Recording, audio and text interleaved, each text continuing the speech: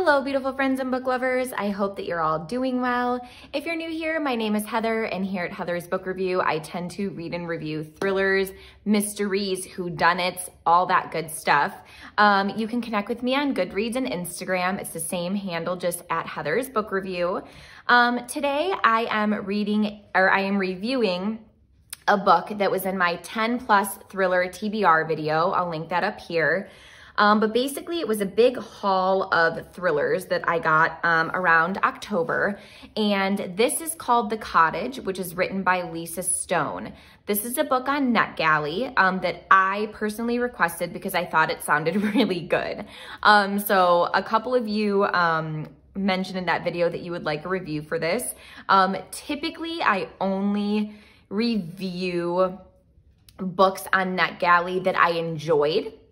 The Cottage is not one of them, but I will always review a book if you guys request it. So um, here we go. So um, I'm going to be referencing my notes a lot here. So have you guys ever read a book that has a ton of potential, like a creepy setting, mysterious events encircling our one lone protagonist who's out experiencing them all by themselves? Wondering if they're indeed crazy or if the unexplainable events are actually occurring. Let's be honest, that's kind of the setup for a lot of thrillers, right? Um, that's exactly how The Cottage is set up, which I'm not mad at. I like books like, like I like to know, like, are you really crazy or stuff like actually going on? Um, as the reader, you're following our main character, Jan's experience. Um, she's staying at a remote cottage that is old fashioned, okay? so old fashioned that she has to put coins into a meter um, to keep the house warm. I'm like, what the heck? Um, so flash forward to the owner of this cottage, Camille, um, saying that our main character, Jan, can stay at the cottage, but she needs to watch over Camille's little terrier, Tinder.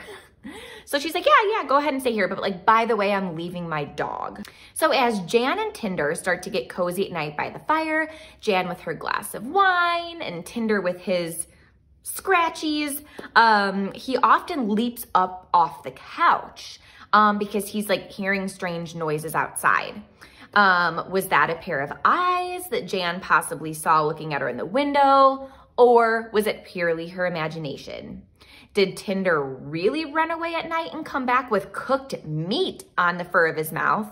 Um, or was that just like, did she think it was cooked meat and he really just got in like someone's garbage? Um, so while this sounds very promising, um, it starts to take a very strange and unrealistic turn.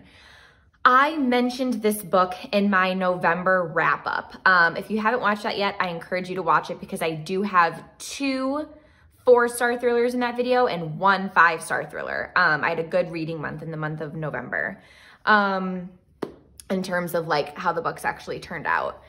Um, this, this just takes a really unrealistic turn. I had an inkling, maybe 25% of the way into the book, of the route it was taking. Um, and my exact thought was, really? This is the route we're going? That's all I'm gonna say for the non-spoiler section. Um, if you want a creepy thriller and you don't mind an unrealistic twist, then you might wanna check this one out. On my rating scale, I'm giving it a chore to finish.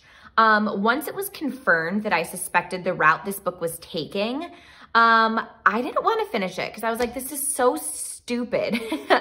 um, I probably would have like DNF, do not finish, um, and just like written my review there. Um, but I know a couple of you got the book for yourselves and wanted me to film the review so we could chat about it. So of course I was going to finish it. Um, but dang, I didn't like it. And for those of you that bought it and read it, like we have to chat in these comments. So I am gonna go ahead and go into the spoiler section of the video for those of us who have read. Um, if you're new here, I categorize my channel into playlists via different genres. So I have a psychological thriller playlist, a just a general overarching thriller playlist, um, a whodunit mystery playlist. So I encourage you to check those out um, if you wanna hear more of my reviews. But I need to get chatting for those of us who have read. Okay, here we go. having the idea that the babies were never stillborns and Anne was taking them. Of course, I suspected her to be doing something wrong, right? Then when the clinic was mentioned and we had an idea that Ian, Ian and Emma were not the only couple that this happened to, I had the idea that it was the same sperm donor for um, the entire clinic and that the owner of the clinic was behind it, which was the case. Because I was like, this is weird. This is like incestual stuff going on. The fact that these babies are, you know, being born um, deformed and, and everything. So I know, I don't know if you guys read this far, but at the back of the book, it the author goes in to say that like it basically felt like she was saying here, I wrote it here. I said, I know the author adds the bit at the end of the story that sadly this has indeed happened before, a situation like this. But I feel like mentioning that is almost using it as a crutch to the reader. It's kind of like, oh, well, I guess I can't call this unrealistic because it's actually happened. But like, don't kid yourself. You can definitely call this unrealistic. Just because it happened before doesn't mean you aren't allowed to be like, well, that was a bit of a stretch. The writing wasn't anything phenomenal. It was very mediocre. There wasn't much character depth. Um, it was nice that the book didn't end with more incest with Chris and Jan. Um, and that's probably the only thing I enjoyed about it. So as always, thanks so much for watching, you guys. If you read this, please leave in the comments below. Did you not like it as much as I did? Um, and I'll see you in my next video. Bye, you guys.